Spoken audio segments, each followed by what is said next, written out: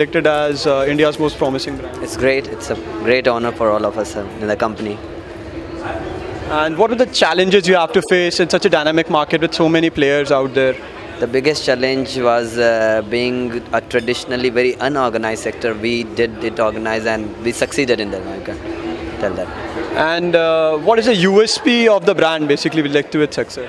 It's uh, the biggest USP is uh, the products we are con- conceived, developed, and designed all in made in India.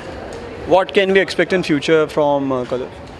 Future become uh, venturing into the international market and uh, coming up with the new plant at Haridwar also, which will add to the capacity also. Thank you and congratulations.